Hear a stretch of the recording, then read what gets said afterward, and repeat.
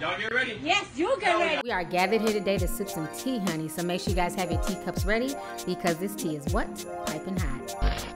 Hey, you guys, it's time for a Lovelyti TV shout out. So I want to go ahead and shout out Gyant.com. If you guys don't know, they're a new app company, and basically it's almost like having a doctor that you can talk to and tell your symptoms to, okay? So this app, all you have to do is download it onto your phone. It's available everywhere. But in the state of California, you can get real doctor service via the app between the hours of 4 to 9 p.m. Pacific Standard Time. The Gyant app not only connects you with real doctors, but it can also provide you with a prescription and it can also give you medication refills as well. So I'm to go ahead and show you guys how to work this app. Go ahead and check this out. All right, so I want to show you guys how you guys can get this app on your phone. So you're gonna go onto gyant.com. So it's gonna ask you, are you feeling sick? Are you just looking around? Make sure you put in that you're feeling sick. And then at that point, it's going to ask you, do you have an account?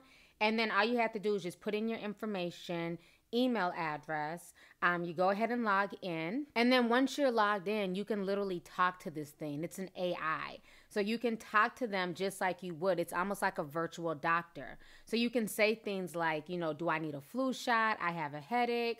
You know, I have cramps. My nose is bleeding things like that, and it will talk back to you and try and diagnose your symptoms. So, for example, after I put in my information, it confirmed all of that information um, by saying that I'm a woman, I live in Concord, and then I was able to confirm everything. Then it goes on to ask different questions like, Do you have a runny nose?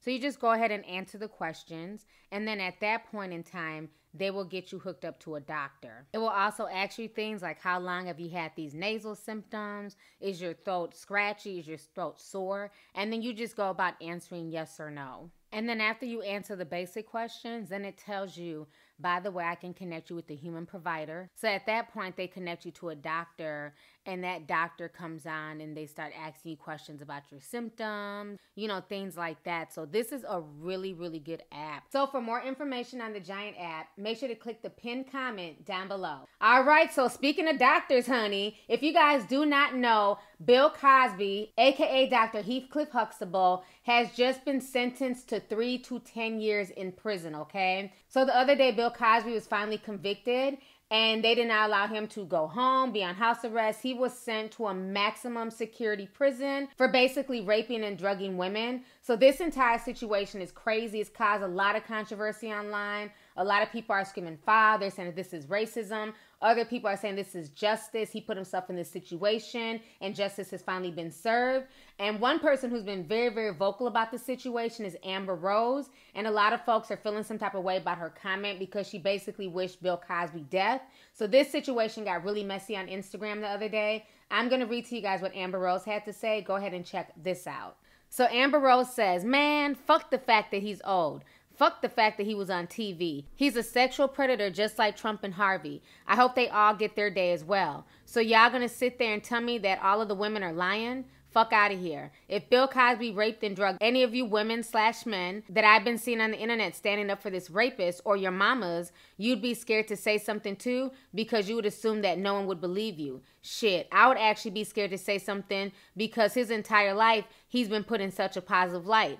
That's why he got away with it for so long. We should be praising these women for showing us exactly who he is. I hope he doesn't die in jail. I hope he does the full 10 years, then dies the day he gets out. Shrugs, justice finally served. Shame the rapists, not the survivors. Bye.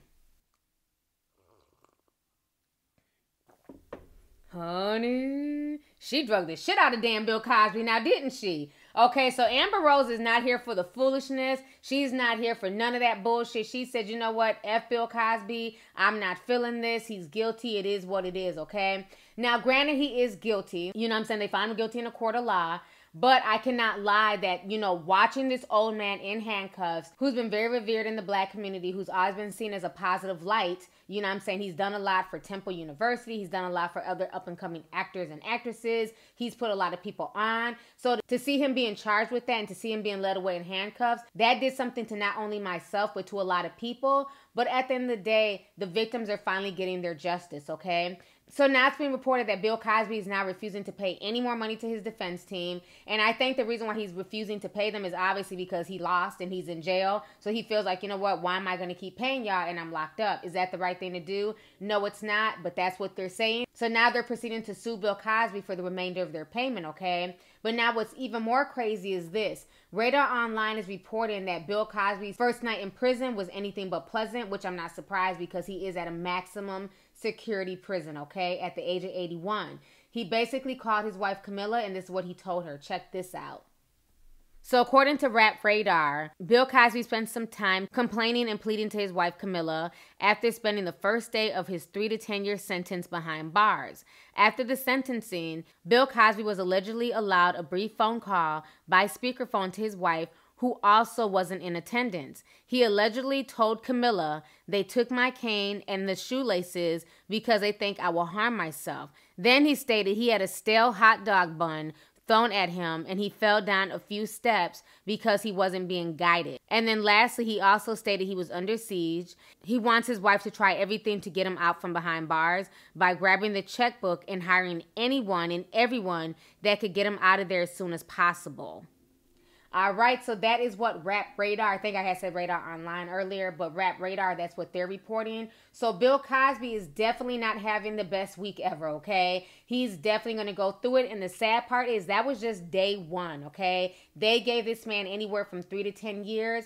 And again, when you're doing nefarious shit, when you're doing devious shit, you know what I mean? There's consequences to be paid for that. But I will say this I hope they have the same energy and they apply the same consequences when Harvey Weinstein's trial comes up, okay? I hope he gets the same time. I hope they're not lenient on him because they damn sure we're not lenient on Bill Cosby. You know, there's other people like I've talked about in the past who are not only sexual deviants, but they're also predators and they've done a lot of shady stuff in the industry, okay? Bill Cosby was not the only one drugging women and raping them and doing all that mess. You know, Hugh Hefner, there's been a lot of documented reports about all the little sinister, sadistic shit that Hugh Hefner would do at the Playboy Mansion.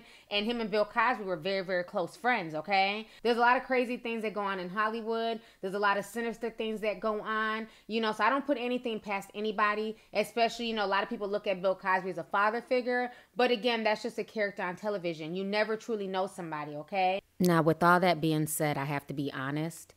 I really feel like there's more at play even if he's guilty, the fact that they're allowing cases as old as 30 years ago, you know, to testify to me definitely makes me give the situation the side eye.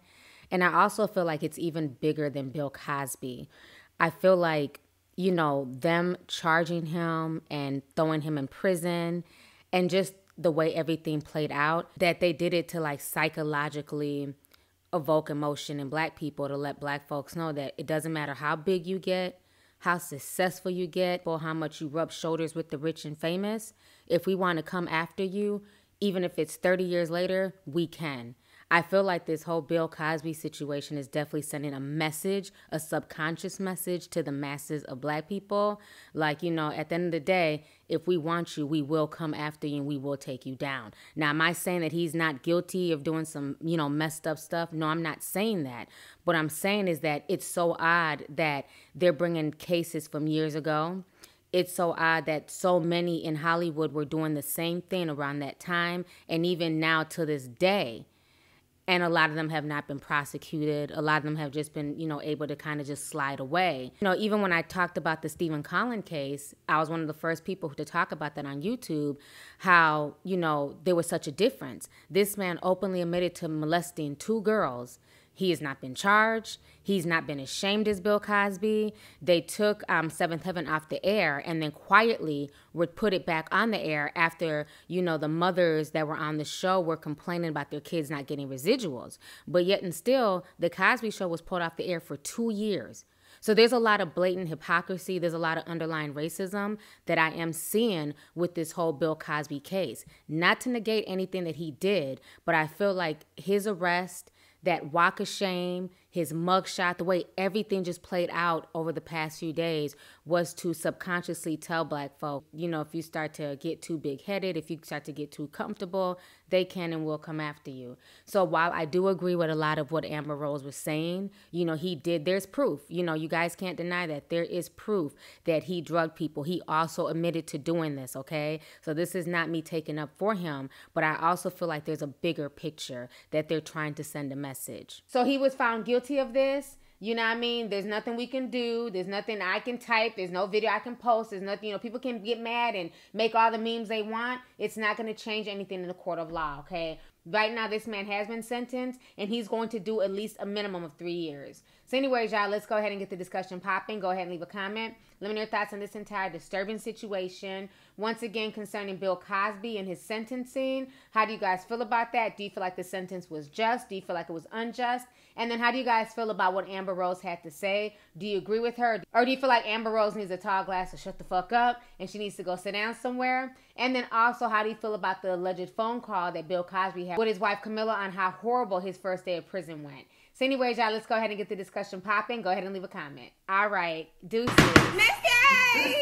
hey, you guys, it's your girl T, and I hope you really enjoyed that video. If you want to know more about my look of the day, or if you want a way to contact me concerning advertisement and sponsorship deals, definitely feel free to click my description box. There's plenty of information in there. Please stay tuned for the next video. Talk to y'all later.